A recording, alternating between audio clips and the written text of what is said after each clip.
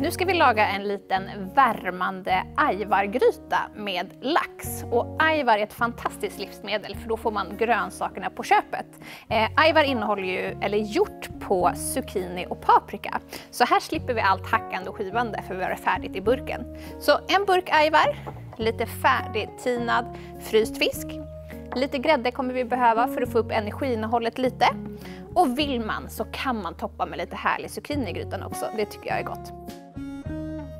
Då tar vi ajvarburken och bara rakt ner i stekpannan med allting. Det börjar bli riktigt varmt här.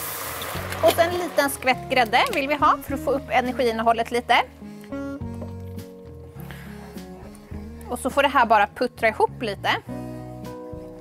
Så då ska vi bara ha ner fisken. Och fisk är ett jätte, jättebra livsmedel, speciellt lax, för det innehåller lite extra D-vitamin, eller fet fisk är rik på just D-vitamin. Och D-vitamin är något som är viktigt att tänka på att få i sig, så man brukar rekommendera fet fisk ungefär 3-4 gånger i veckan. Så lax är ett utmärkt alternativ, så det kör vi ner här i grytan. Så får den puttra lite och under tiden så kan man ju koka matvete eller potatis eller ris eller pasta eller vad man föredrar att äta till.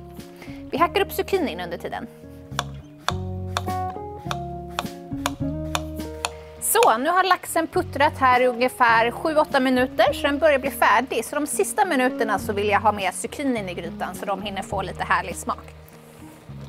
Och så får de puttra med sista minuten. Voilà! Finmiddag på en kvart.